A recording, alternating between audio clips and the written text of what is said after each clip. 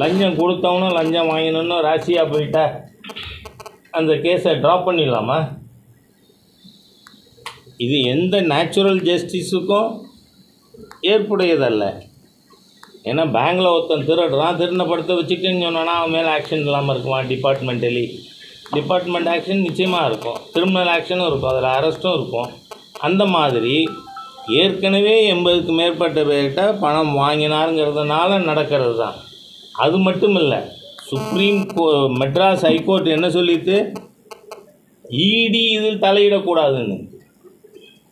There was a ban on ED in Senthil Balaji's case Supreme Court கோபம் வந்து அது எப்படி இதை நீங்கள் தள்ளுபடி பண்ண முடியும்? அதனால் இந்த கேஸை அறுபது நாளில் வந்து மாநில அரசு முடித்து கொடுக்கலைன்னா ரிப்போர்ட் சப்மிட் பண்ணலைன்னா நாங்கள் வந்து சுப்ரீம் கோர்ட் நேரடியாக இந்த வழக்கை நடத்த வேண்டிய விசாரணையை நடத்த வேண்டியிருக்கும் அப்படின்னு சொன்னாங்க. அப்போவே இன்னொரு வரி சொல்லியிருக்காங்க. நாம் அதெல்லாம் உண்மைகளை படிக்க மறக்கிறோம். அதனால் போய் பரப்புகிறோம் பழிவாங்கும் நடவடிக்கைன்னு. நோ எங்கள் பிஜேபிக்கும் இந்த கேஸுக்கும் சம்மந்தமே கிடையாது. சுப்ரீம் கோர்ட்டில் என்ன சொல்லியிருக்காங்க? அறுபது நாட்களில் மாநில அரசு விசாரணையை முடித்து அறிக்கை சமர்ப்பிக்க வேண்டும்.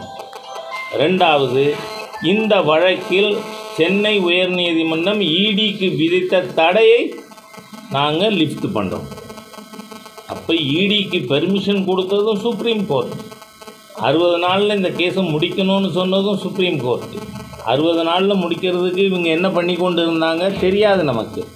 ஆனால் இடிக்கு இருந்த தடையை லிஃப்ட் பண்ணதுனால இடி வந்து அவனுடைய கொஸ்டினிங்க ஆரம்பிச்சது.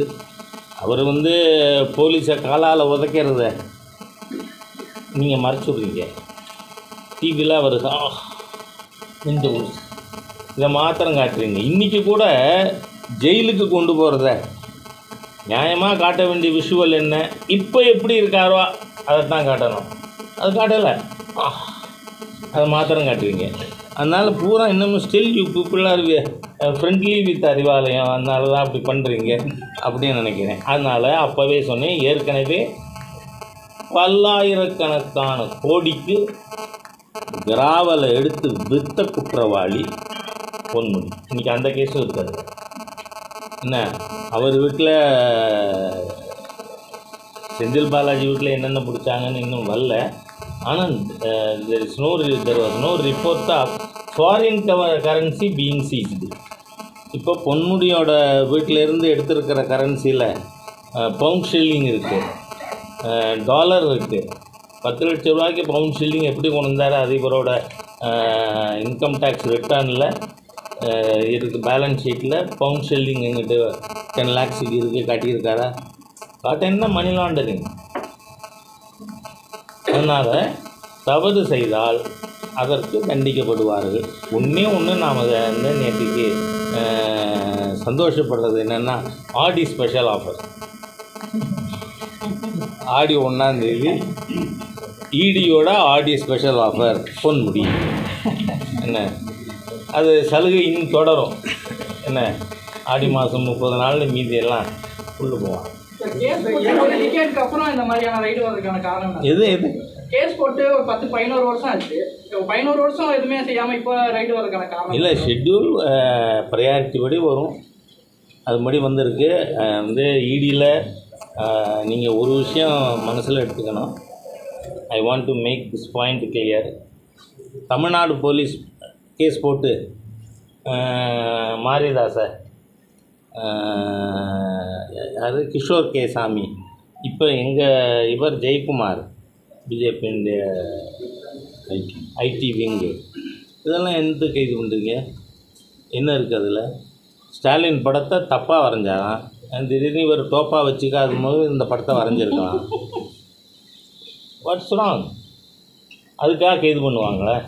நாம் நினச்சோம் முன்ன டிஜிபியாவது சைக்கிளில் போகிறார் செல்ஃபி எடுத்துக்கிறார் அதை வந்து போஸ்ட் பண்ணுறாருன்னு now the present DG if is as to bend is crawling before the DMK governor எல்லா பிஜேபி ஆர்டினரி ஃபங்க்ஷனரிஸ் இந்த போஸ்ட்டுக்கு சோஷியல் மீடியா போஸ்ட்டு கைது பண்ணலாமா? கபடைஸ் I condemn this BJP workers மீது அஹ், காட்டும் ராண்டித்தனத்தை கட்டவிழ்த்து விட்டு இருக்கிறார்கள் தமிழ்நாட்டில் கடந்த ஒரு வாரமாக.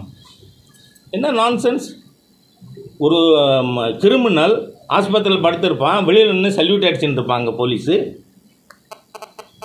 ஏன்னா அவர் இன்னமும் இலாக்கா இல்லாத மந்திரியாக இருக்காருன்னு சொல்லிக்கிட்டு இருக்காங்க. Is not it it is it not an insult to the police force as a whole சாதாரண பதிவுக்கு எப்படி கைது பண்ணலாம்? DGP should be impartial he should correct ஹிம்செல்ஃப்ங்கிறேனா he should correct himself he should be impartial ஆனால் என்னவோ ஸ்டாலின் படத்தை தவறாச்சு தடுத்தார் அப்படி தான் போட்டிருக்கு. அது என்ன பண்ண முடியும்? ஒருத்தர் வரைஞ்சா வாய் நேராக இருக்கும். ஒருத்தர் வாய் வரைஞ்சா வாய் கொஞ்சம் கிராஸாக இருக்கும். அதுக்காக வந்து கைது பண்ணிடுறதா? இன்னைக்கு ஜெயக்குமார் தானே? அதனால அம திராவிட முன்னேற்ற கழகத்தில் இருக்கிற அத்தனை பேரும் திருட்டு பயில்வான் மந்திரியாக இருக்கிற அத்தனை பேரும்.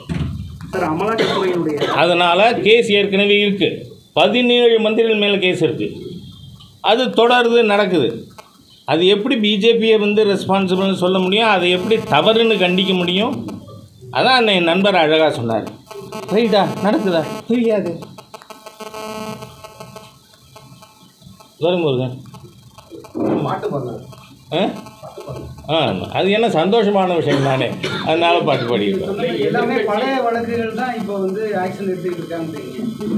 அப்போ வந்து இப்போ நடக்கிற திமுக ரெண்டு ஆண்டு ஆட்சி வந்து ரொம்ப சந்தோஷமாகவும் ஊழல் இல்லாமல் இல்லை. அருமையாகவும் நடக்கிறதா ஒத்துக்கிறீங்களா? ஆ நீங்கள் வந்து என்ன மீடியான்னு எனக்கு தெரியாது.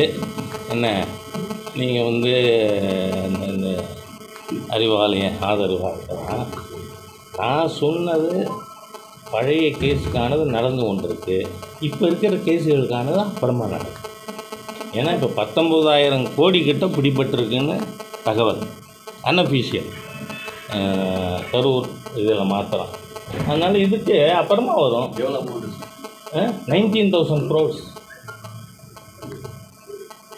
Senthil Balaji sir அமலாக்கத்துறை செந்தில் பாலாஜி விஷயமா பிடிபட்டது மட்டும் பத்தொம்போதாயிரம் கோடின்னு அன்அஃபிஷியல் சோர்ஸ் இது. நாட் எட் கன்ஃபார்ம் அதனால் இவ்வளோ பெரிய அளவு ஏன்னா நீங்கள் முப்பது நாளைக்கு முந்நூறு இடத்துல நடக்குது ரைடுன்னு சொன்னால் ரைடு நார்மலாக எப்படி இருக்கும் ஐஎம் சார்ட்டட் அக்கௌண்ட் ரைடு எப்போ நடக்கும்? இன்றைக்கி ஒருத்தர் வீட்டுக்கு போகிறார் அவர் வீட்டில் பெரிய அமௌண்ட்டு க்ரெடிட்டு அவர் கணக்கில் இருக்கும். இன்னும் சொல்கிறது அவர் வீட்டுக்கு போவார். ஏன்னா அவருக்கு இந்த அமௌண்ட் இவர் கொடுக்குற அளவுக்கு எப்படி வந்தது? அப்போ அங்கே பார்த்தா அவர் கணக்கை பார்க்கும்பொழுது அங்கே இருக்கக்கூடிய அன்பிலீவபிள் என்ட்ரிஸ் லார்ஜ் அமௌண்ட்ஸ் இருக்குமானால் அவர் வீட்டுக்கும் போகும். அதுதான் வந்து ரைடினுடைய கோர்ஸ் ஆஃப் ஆக்ஷன் அதனால் அப்படி இருக்கிறதுனால தான் இவ்வளோ பேர் முந்நூறு பேர்கிட்ட நடந்தது. பொன்முடி வந்து பாவம் அதை ரொம்ப வருத்தப்படுவார் இன்றைக்கி என் வீட்டில் ஆறு பேர் வீட்டுக்கு மாத்திரம் தான் நடந்திருக்கு. எங்கள் சில செந்தில் பாலாஜி விஷயத்தில் மாத்திரம் முந்நூறு பேர் வீட்டில் நடந்திருக்குன்னு வருத்தப்படலாம். வேறு ஒன்றும் பண்ண முடியாது.